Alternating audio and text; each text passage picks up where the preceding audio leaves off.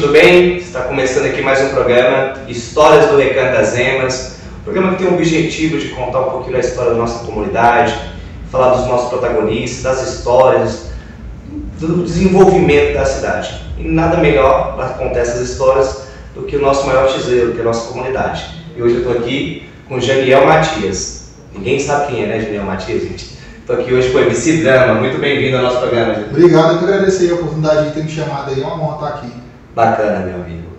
E a gente chamou o MC Drama, gente, porque assim, uma cidade é feita de vários aspectos. E um dos mais importantes é a cultura. E a cultura sempre é plural. Então, o MC Drama, além de. Vai, falar um pouquinho melhor dele daqui a pouquinho, mas representa a música nossa cidade, a diversidade musical dos artistas aqui do Recanto das Emas. Mas, MC Drama, eu começo me perguntando, quando é que você chegou aqui no Recanto das Emas? Tem mais ou menos quanto tempo? Tem praticamente 22 anos já. 22 anos. Cheguei aqui era só terrão, né? Como boa parte da cidade. Qual quadra, você Na começou? 401. Hoje eu, eu moro na 206. Ou 204, perdão. Mas quando eu vim pra cá, no início foi na 401 que a gente veio E aí a dificuldade lá, como é que era a realidade naquela época? A gente morava na Ceilândia. É, aí minha mãe ganhou esse lote aqui, a gente construiu. Pagava aluguel na Isso, aluguel. Coincidência, minha família também era da A Ceilândia. maioria da galera aqui. Pagava aluguel lá, veio pra cá, graças a Deus, com esse Pois sonho é, muitos têm de ter a casa própria. Aluguel. Aí a gente construiu um cômodo aqui e a gente veio morar nesse um cômodo, cinco pessoas. da Cinco família. pessoas? Cinco pessoas da família. Olha só, não conta. A dificuldade que era, hein, irmão? terrão, não tinha eletricidade, minha mãe teve que fazer, meu pai no caso, puxou uma gambiarra de uns 100 metros para poder ter luz lá né, nesse cômodo que a gente tinha. E aí com o tempo meu pai foi construindo, aumentando um pouco mais a casa, a gente construiu o muro, fechou, e aí a minha tia e outro tio meu fizeram outro barraquinho lá dentro também para morar, porque eles moravam de aluguel, minha mãe se deu Para ajudar os familiares. justamente para eles poderem ficar sem pagar aluguel um tempo, para poder juntar uma grana para comprar a casa deles ou coisa do tipo, né? Coisa de família mesmo, que É. um gosta de ajudar o outro, na simplicidade. E aí chegou aqui aquela dificuldade, escola que é bom, muito complicada, mas Não. naquela região da 401, né? Eu estudava na Ceilândia, eu morava aqui e estudava na Ceilândia, né? Como é que era essa logística? Aí era o pé de Todd, na Ceilândia lá, chamava de pé de Todd, que era só o terra, só Você barro. sofria bullying, né? Ônibus, é, tinha que limpar os bancos né, para sentar, se você sentar direto no banco era se Gente, a sujar. poeira aqui no início, Era era brincadeira não, gente. Era Mas a cidade cresceu rápido, né? Eu pensava que ia demorar chegar asfalto, chegar a questão de esgoto, tudo isso foi muito rápido, na verdade. A cidade cresceu rápido demais, tendo em vista outras cidades, né? Que então, são mais antigas do que o Recanto. O Recanto tem mais coisas, assim, vamos dizer, avançadas do que outras cidades, em comparação, né? É, o Recanto das Emas desenvolveu muito rápido realmente. A gente compara, como você disse, com algumas outras cidades. Infraestrutura, a organização da cidade, o comércio do Recanto. Emas, a aparelhagem pública. Hoje nós não temos nenhum aluno que precise sair do Recanto para estudar em outra cidade. Nossas escolas aqui, por sinal, são escola- escolas que até mesmo esse dia nós tivemos uma visita do secretário de Educação aqui e disse, poxa, cara, mas passa as escolas aqui, parece que escolas particulares. Estão bem organizadas. Ah, isso é muito legal para a nossa cidade. Sim, eu terminei o ensino médio aqui, né? Inclusive, né? O, Colégio 111, foi Colégio que eu terminei o ensino médio. Então você fez parte do Sala 111. Sim. Todos meus amigos que estudaram no 111 era um escola boa, escola boa, professores bacanas também, escola legal. Ah, é muito bom, É, gostava. o 111, e, e só lembrando da escola 111, uma das demandas que eu escutei muito quando a gente assumiu aqui a administração era a questão da cobertura das quadras poliesportivas. Algo que aconteceu agora através da Regional de Ensino. O Leandro Freire, que é o coordenador, correu atrás, conseguiu recurso e foi coberto agora as quadras ficou belíssimo. Bacana. Quando voltar às aulas presenciais, os alunos vão encontrar um espaço muito melhor. A escola está muito bonita, por sinal. Mas, Drama, eu sei que você também, além de ser apaixonado pelo Recanto das Emas, é um apaixonado pela cultura, apaixonado pela cidade, pela a arte de rua. Conta um pouquinho desse músico que você é, esse artista, esse Então, ativista cultural do das Emas. Tava contando agora um pouco a história de fora do pessoal. Quando eu entrei no, no hip hop, na verdade eu nem tinha esse pensamento de rap, né? Eu já curti o hip hop, já curti algumas coisas, mas eu não pensava em cantar rap não. Coloco a galera do rock and roll. E aí, tanto que quando eu mudei pra cá, que eu fui estudar no 111 para terminar ensino médio, a galera conheci a galera do rock and roll. Entendi. E aí nesse intervalo de tempo, entrei na igreja no grupo jovem, Quase que você virou roqueiro, então. Eu já eu já tava todo de preto, não era Ah, é? cabelo do Black Power, não, é all-star. Tirilo. Sério, eu tô de preto. Aí eu fui pra igreja no grupo de jovens e um certo tempo pedi pra que apresentasse alguma coisa que soubesse artística, né? Hum. E aí eu pensei, pô, vou escrever um poema e vou apresentar isso, né? Gospel e tal. Escrevi a ideia toda e quando foi no dia de apresentar, um camarada apareceu do nada, esse camarada do grupo, e me chamou e falou, por que que tu não canta rap nesse teu poema aí? Do nada. E eu falei, rapaz, não vai dar certo não, não tenho base, não tenho nada disso. Falou, não, toca no violão e tu canta. Aí ele saiu um pouquinho, cantei, a galera gostou, beleza, esqueci disso aí, morreu. Quando foi uma semana depois, teve um encontro em Taguatinga. Por coincidência, eu tinha um cara apresentando uma rap lá, é Rapper Abreu, até daqui da cidade. Aí a galera botou pilha, por que tu não canta de novo aquela música lá, pede lá pra cantar? Aí eu fui lá e cantei, aí a galera gostou pra caramba, aí eu falei, rapaz, eu vou começar a escrever umas ideias em cima disso aqui agora, né? Identifiquei, gostei. Aí, uns um mês depois, teve um evento aqui na cidade. Aí nesse evento na cidade, é, eu pedi pra cantar e deixaram eu cantar. E aí pronto, fui embora, não parei mais não. De lá pra cá, tô no hip hop até hoje. E graças a Deus conheci muita gente bacana dentro do rap, me envolvi com a cultura mesmo. Skate, andei de skate também, conheci a galera do Richinha, que. Eu já tentei andar de skate, não deu certo. Tentei, eu andei de skate. Meus cotovelos que eu digo. Não fui um bicho não, aí parei. aí conheci o Richinha, galera. Mas você também compõe, né? Sim, escrevo também. As minhas letras todas são foi eu que escrevi, tudo. É, né? Eu escrevo todas. Qual assim um momento da sua carreira que você disse assim, poxa, aqui, Carlos, foi onde eu sei que está acontecendo a sua carreira, né? Está longe desse lance, se Deus quiser. Mas tem um momento que assim, poxa, Carlos, eu cheguei até aqui, foi bacana esse evento. Poxa, um dos eventos que eu fiquei feliz pra caramba foi quando eu ganhei o campeonato aqui no Recanto. Teve um concurso, eram os 12 grupos, e eu tive a felicidade de ser campeão nesse Olha aí, que legal, cara. É, e tinha grupo só do Recanto e grupo de fora também? Não, tinha grupo de fora também. Então concorreu com a galera de fora e, e aí foi campeão. Era performance, letra e batia, né? E aí eu, na humildade, peguei uma batida da internet, escrevi a letra em cima, chamei uma galera do break para dançar no dia. A gente não ensaiou nada, eu só falei, galera, vamos lá se dançar pra mim, eu canto, vocês dançam. E aí deu bom, ganhamos. Primeiro lugar. Eu acho que o ápice assim, mais bacana da minha carreira foi essa. A segunda, orgulhoso. a segunda foi sair no Correio Brasiliense. Consegui sair no Correio Brasiliense lá com o CDzinho que eu lancei na internet e saiu lá na página da cultura. Que legal. Isso aí foi bom, show de bola, né? Que legal, parabéns, amigo. Eu acho que assim, é, é valorizar os esforços. Cada um tem a sua história, cada um traz um legado de complicações, de desafios que foram enfrentados.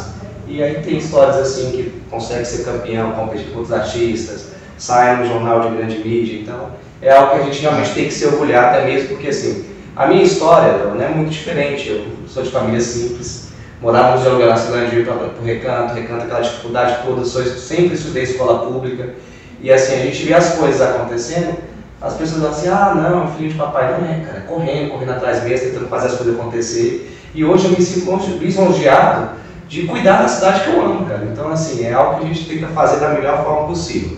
Mas voltando para o tema da cultura, o que, que, você enxerga hoje na cidade? Até porque eu sei que você já participou de outros eventos, os Faremas lá atrás, e eu ia também como morador. E eu via aquelas festas grandes, muita gente participando, e o que eu vim percebendo, que ultimamente né, as pessoas não têm tanto apelo para ir para um evento cultural, feito pelo governo. O que, que você, qual a sua visão sobre isso? Acho que é um conjunto, né? Tudo conta, né? Desde o artista que vai estar lá até a própria questão da organização do evento, né? Segurança, né? Porque o que acontece, alguns últimos eventos que eu fui, não só aqui não, em outras cidades, né? Sim, sim. Só, sim. O problema maior é a segurança, né? A falta de segurança, e dá briga, e vem aquelas pessoas ficam com medo de sair de casa, a família, né? Sim, uma, uma segurança é, que não tem um preparo, de repente, ali no evento, entendeu? Teve um evento aqui no Recanto, muito tempo atrás, que eu, a polícia acabou o evento assim, a pessoa foi dispersando, a polícia chegou batendo em todo mundo. Eu não apanhei porque eu na hora que eu vi, eu saí, senão tinha parado. Um colega meu levou cacetada lá, saindo do evento. Então acho que essas questões que afastam as pessoas, entendeu? Quando tem um evento bacana aqui na Universidade da Cidade, que você tem um artista bacana para cantar, tocar, e você vê que tem uma estrutura montada, tem uma segurança bacana, organização, isso tende a chamar o pessoal. Agora quando você vê que é um negócio aberto, entra e sai quem quer, nego entra com bebida, nego entra com droga, com tudo, você vê que está banalizado o negócio, isso espanta realmente a população, quem vai querer o evento desse, né? E aí, nosso objetivo é justamente que os eventos na cidade voltem a ser eventos frequentados pela família, com grande público. Porque o artista gosta disso, né, De chegar e ver uma galera lá acompanhando, batendo papo. Minha família, minha mãe vai com meus eventos que eu canto, minha mãe vai, meu pai vai, meus sobrinhos vão. Entendeu? Esse que é o legal do artista, você está no evento e você vê a pessoas da, da cidade perto de você tá ali te acompanhando, porque sente bem. Minha mãe já foi em vários. Motiva. Graças a Deus, das vezes que ela foi, não aconteceu nada de ruim. E aí, além da música, você também tem um, um, um lado do grafite também, é isso? Então, eu, eu iniciei no grafite também. Fiz grafite um bom tempo atrás, só que como a atividade de grafitar é maior, por conta de material e por conta de permissão para fazer o grafite também, quando é todo mundo que libera um muro para você fazer. Então, Falando essa parte do muro, até algumas pessoas. Muita gente gostou. Eu, particularmente, faria de novo, mas a gente liberou alguns muros aqui da administração, da sede, para fazer um grafite, até porque foi é algo artístico, né? Sim, Pelo menos artista essa, é um artista. essa é a minha visão, né? Essa é a minha visão. E algumas pessoas, mas eu olho para a administração todo dia eu chego, você viu aí fora, tem vários grafites, e assim, o que me incomoda, amigo, falando nessa parte da grafite, é que às vezes tem um muro tão bonito, deixa eu fazer o grafite que vem melhor, muito melhor que alguém vir lá e pinchar. Sim, não é sim, sim. Não, eu ainda brinquei na pichação muito tempo aí. Entrei, não era pra mim sair, aí foi quando eu entrei pro grafite. E o grafite eu fiquei um tempão, agora é hobby. De vez em quando, se eu tiver condição de comprar uma lata, eu ainda faço grafite. Que tempos atrás eu grafitei lá no skatepark lá e coloquei bicicleta lá e tal. Então, é secundário. Outras coisas que eu faço no meio artístico, agora tá parado por causa da pandemia, é ensaiar as que a gente chama. Gente junta a galera do rap, liga o som e chama pra cantar e pronto, deixa o pau quebrar. É as batalhas? Não, as batalhas de rima não. Batalha de rima eu participei um tempo com o Pedrinho na batalha sagrada aqui do Rio abraço pro Pedro aí. Salve Pedro, Pedro da barbearia, tá com a barbearia. Participei lá, batalho também. Não sou esse batalhador de rima todo, mas eu batalho também. Mas mais por brincadeira, mais por rock, tem uma galera que leva a sério mesmo isso aí. Mas meu negócio é o rap mesmo. Lembrei do Richinha você falando de, de batalha. É, né? graça da batalha. É só pra rir, bicho, é muito engraçado. Mas, amigo, a gente partindo aqui para a parte final do programa, é um programa realmente curto, Sim. é, até mesmo porque assim, são várias entrevistas. Tem programa que dá pra fazer três entrevistas, funciona diferente, o seu tanto de história que você tem aqui do Recanto das Emas. Mas eu queria que você deixasse aqui o recado final para a nossa cidade, o que você espera do Recanto das Emas, o puxão de orelha que você tem para dar no administrador, o que, que você está vendo, o que, que você pode dar de feedback para a gente lutar para a nossa Então, cidade melhor. É, eu vejo que a cidade, como eu disse, cresceu bastante, né? E não só na sua gestão, como outras gestões também tem é, Contribuíram, né? para que isso acontecesse. Se você tem feito isso, tem mostrado isso, acompanha o seu trabalho aí. Obrigado. Se é puxão de orelha, acho que as quadras, algumas quadras aí, a quadra mesmo da quebrada que eu cresci lá, 401, tá abandonada lá, era quadra, agora virou campo de gramado. Mata, tá umas horas lá, seca, tá estragado. Então dá uma olhada para isso aí lá, que é o puxão de orelha que eu daria. E é isso aí, é respeitar a quebrada que a gente vive, né? ter empatia pelas pessoas, saber que cada um cidadão aqui dentro faz parte dessa história aqui, né? Chegando agora, ou quem veio das antigas, todo mundo tem que ter o meu respeito, porque é um morador da cidade, é um Tem cidadão que da ser bem cidade. recebido também. Fico feliz de morar aqui.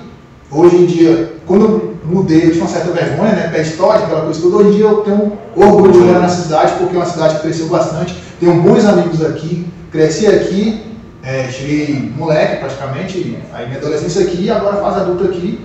Graças a Deus estou bem, estou casado, tô, vou ser pai, minha esposa está sete meses aí. Parabéns. E é nessa cidade que a gente está morando. Já escolheu o nome da filha? Rebeca. Da Rebeca, daqui uns anos vai estar lá no YouTube vendo o vídeo do pai dela. E não vai ser chamada de pé histórico. No YouTube, da, no YouTube oficial da Bom, é. Que vai ficar lá, que é algo institucional esse vídeo. Gratidão. Mas só dando aqui o feedback a respeito da demanda do drama, eu também fico muito chateado às vezes, né, de chegar numa quadra, igual a 401, a 406, entre outras, que a quadra poliesportiva está em péssimas condições, o parquinho das crianças, a PEC, e assim, uai, mas você sabe que isso não resolve. A nossa dificuldade aqui é o recurso.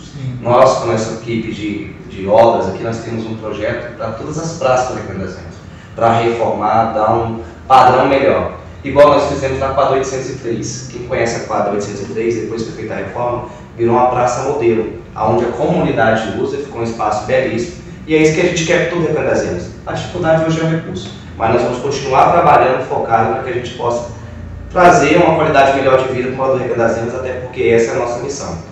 Hoje eu estive aqui com o MC Drama, no programa Histórias do Recanto das Emas, onde a gente pôde saber um pouquinho mais da cultura, da, da nossa cidade, como é que anda, um pouquinho da história do MC Drama, que é um artista do Recanto das Emas e um morador antigo. E muito obrigado, MC. Valeu. Quem quiser seguir aí nas redes sociais aí, ó, Instagram MC Drama Rap, beleza? O canal do YouTube é dos Drama e tem também o Palco MP3, MC Drama Rap lá. Acompanha aí um pouquinho do meu trabalho aí. Valeu, galera. Tamo junto. Gente, eu só ia esquecendo um detalhe, que é uma simples homenagem, tá? Opa, obrigado. É um certificado Valeu. sua contribuição com a história do Recanto das Emas, um certificado de honra ao mérito. Parabéns, MC Drama. Obrigado. Esse foi mais uma História do Recanto das Emas, hoje com o MC Drama. Fique com Deus, gente. Show.